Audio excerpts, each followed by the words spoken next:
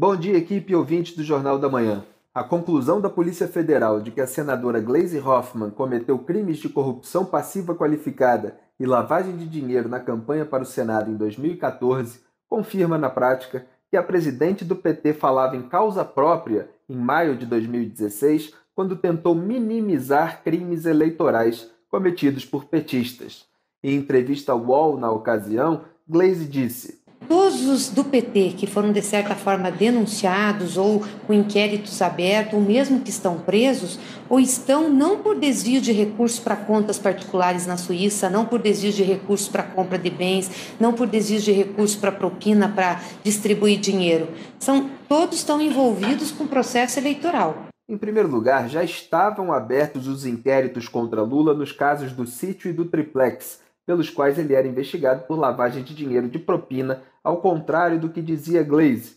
Em segundo lugar, sua tentativa de tornar a fraude da democracia menos grave que o enriquecimento ilícito é sintomática de uma senadora que defende o ditador da Venezuela, Nicolás Maduro. Mas é importante fazer essa diferença. Essa distinção remete à velha mentalidade petista que se escancarou com Celso Daniel, o ex-prefeito de Santo André que topava desviar recursos para o PT mas se revoltou ao descobrir que seus comparsas no esquema da prefeitura estavam roubando para colocar dinheiro no bolso também. Roubar para o partido, ele aceitava. Roubar para si, não. Curiosamente, acabou assassinado, inaugurando uma fila de oito cadáveres ligados ao caso. Eu acho que aí o partido tem que fazer realmente uma autocrítica. Por que, que antes nós não propusemos uma reforma eleitoral? Por que, que antes nós não brigamos para não ter é, financiamento privado de campanha?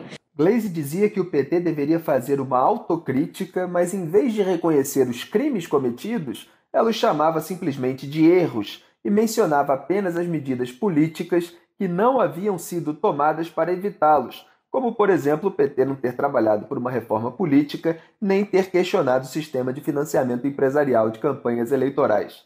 É o velho e sorrateiro método do PT de justificar os próprios crimes. Como fica ainda mais claro pela conclusão da PF sobre Glaze, essa gente nunca viu maiores problemas em roubar o destino do Brasil. Eu sou Felipe Moura Brasil, do programa Os Pingos nos Is, de segunda a sexta, às 18 horas, aqui na Jovem Pan, para o Jornal da Manhã.